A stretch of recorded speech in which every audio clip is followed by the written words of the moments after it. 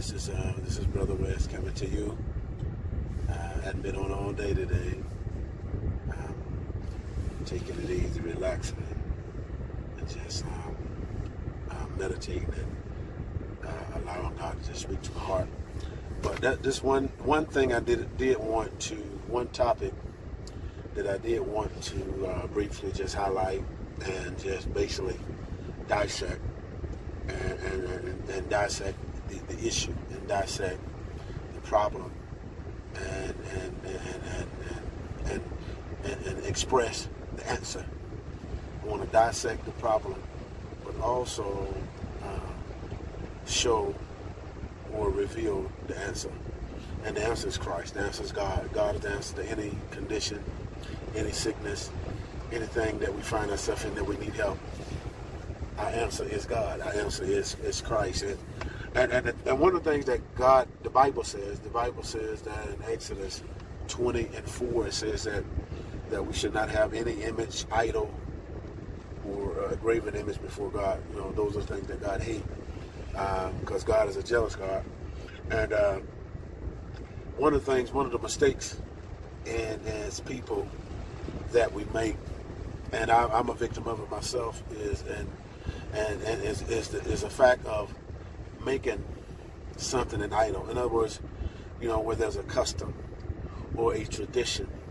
And oftentimes we, we get caught up into the, to the custom and the tradition instead of understanding the spirit of the thing.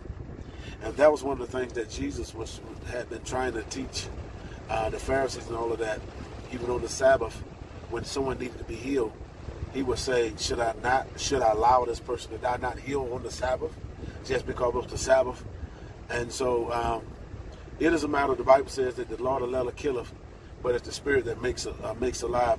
One of the things, and we'll get to my point. One of the things that destroy most relationships, one of the things that destroy uh, most marriages, especially, especially, especially, especially, especially in the church, is when the couple they they lose sight of who they are. When the couple lose sight of me and you. See, because when we got together, it was me and you, and what we created was me and you, the communication, the conversation, and, and what happens oftentimes, and it happens in relationships when when you get older and you grow in relationship, when you start to have kids and you just grow, you have a tendency to get caught up into the into the current of life, get caught up into the things of life, and then what happened? You begin to drift yourself apart in the sense of everybody have a certain role, and so y'all y'all y'all it's almost like you become just partners. You become like partners and well now you do this and i do that and it's your time uh, this time. And, and, then when i get off you get this and and you do that. And and it's, and it's almost like the two the two people that once fell in love that once loved each other now you're now you're partners now you're business partners where there's no there's no there's no feelings there's no emotions just an assignment. Well now i know i got to do this because this is my job. Well i know i got to do this because that's my job. Oh i, I know I'm, I'm, a husband and so and my husband i got to do this. Oh now i'm a wife and so the right wife's role is to do that. And so a lot of times in saying that a lot of times we make idols. We make idols out of the position the position of a, of a wife the position of a husband the position. And we get caught so caught up into the position that we forget about the person, that we forget about the individual, how they how they how they feel, um, how they think, um, um, um how they hope, how they get disappointed, and and oftentimes what happens we become uh, we become desensitized. We become desensitized to the other person's feelings because we're so caught up in the, the things that we're doing, where everything is mechanical, and so we get caught up into the roles where we get so caught up into the roles that the roles it removes um, compassion, it removes intimacy, and that's also one of the ways that the enemy, the, the devil, the adversary, can get in and can destroy and come into a home. Uh, the Bible, God says to to, to um, what I put together, no, let no one separate. The separation is when you allow things to get in between your communication, when you allow things to get in between your conversation, to get in between your connection when you allow things to get in between your connection, your intimacy, then it, it becomes an enemy. Anything that comes between your enemy, anything that comes between your union of coming together and being fruitful and, and, and multiplying, in which God had commanded you to do, it becomes an enemy. Anything that tries to come in between what God has put together, it doesn't matter whether it could be your mama, it could be your sister, it could be your, your brother, it could be your kids. Whatever it is, it's out of the will and, and, and it's, it's out of the will. It's out of the will. And and it is not the spirit of God. I'll put it that way. Not, not God's spirit. See, because God brings together. The enemy is the one that divide. Anytime, anytime there's something that's trying to divide you from from from your union, anything that's trying to divide you from what doing what's right and and, and, and living how and living right, then it's not of God, it's a demon. It's something that's trying to pervert, divert.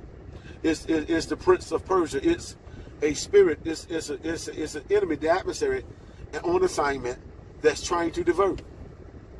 That's what the enemy does. The enemy, by enemy necessary, his purpose is to divert you, to distract you, to get you to a place where you lose traction, where you lose focus, you lose your, your stability, where you lose your foundation. That's what he's after, for you to lose the principle, the spirit, the understanding behind the foundation, the foundation of why why you do what you do. And so the enemy is after your God. He's after your faith. And so that's why it's so important to constantly, to constantly, to constantly strengthen your faith, to build your faith, to grow your faith. Uh, and, and the way you grow your faith is by having an intimate relationship with God. Faith comes by hearing and hearing by the word of God. That's how you get the faith. The faith comes with hearing.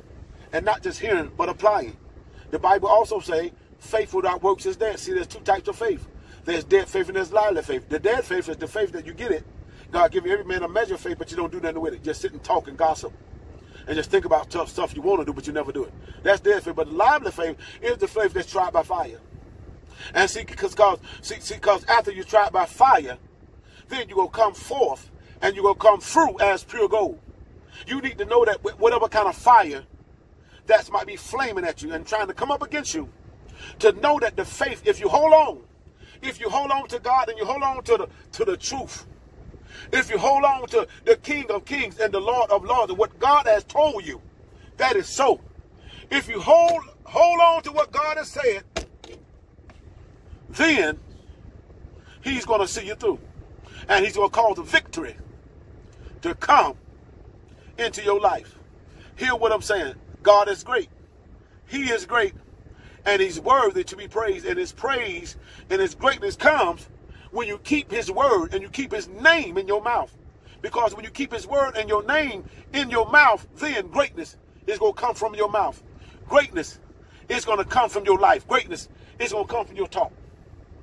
Hear what I'm saying. God bless you.